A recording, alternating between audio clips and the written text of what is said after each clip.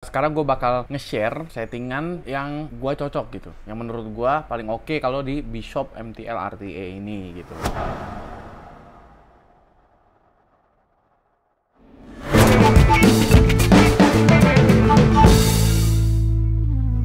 Selamat datang di Genteng Pantai, channel yang diurus oleh hamba uang. Karena kalau tidak ada uang, tidak ada teman, ya begini.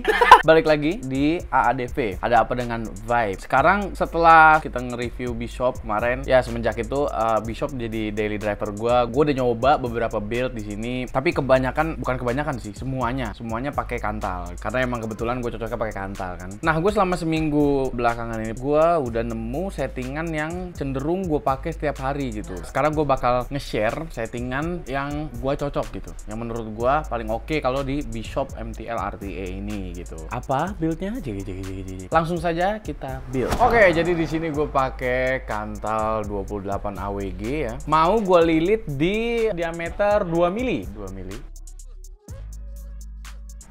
Gue pengen bikin di 7 lilit ya. Nah, begini jadinya. 7 lilit.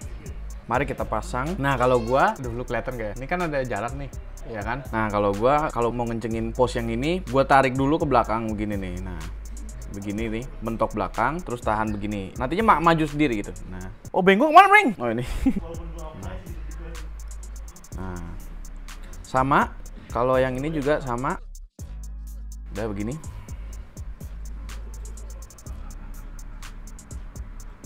Buh, anjir.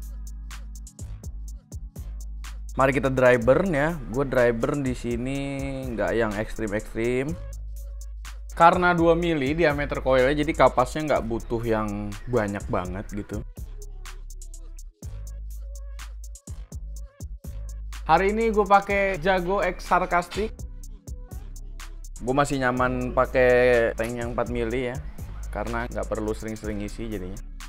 Udah deh, jadi dapat di 1,8 ohm, main di 10,5 seperti biasa. Lanjut ke atas. Nah, jadi itu tadi build yang gua rekomendasiin buat Bishop MTL RTA. Mungkin lu ada rekomendasi build sendiri gitu, siapa tahu ada lu yang pakai kantal 26, Nichrome 26 atau pakai mesh, bisa komentar di bawah gitu. Jadi gue juga tahu nih, ya kan rasanya gimana kalau pakai settingan ini, ini, ini dan ini gitu. Alasan gua kenapa pakai kantal sebenarnya sama kayak pas build X Pro gitu. Gue emang cocok gitu pakai kantal. Karena gue emang bocahnya di atas satu ohm Jadinya ya cocok aja gitu pakai kantal. Pasti ketemu di atas satu ohm gitu kan. Tanpa perlu wrap yang banyak-banyak gitu. Dan kebetulan juga liquid-liquid favorit gua cocoknya ya pakai settingan ini gitu ya kan. Iya siapa tahu lu punya settingan pamungkas juga buat liquid favorit lu ya kan bisa share di bawah. Liquid favorit lu tuh apa sih kalau buat dipakai di Bishop MTL RTA ini? Bisa ditulis di kolom komentar di bawah gitu kan. Ya sudah, jangan lupa di like dan juga di subscribe dan nyalakan tombol lonceng. Itu aduh.